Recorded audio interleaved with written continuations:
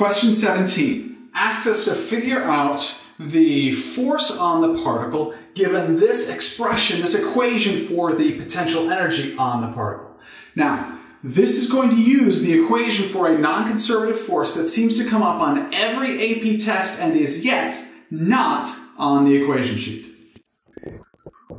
And that is that the force is equal to the negative derivative of the potential energy associated with that force with respect to position. So we can substitute in r instead of x, it's just a random position variable.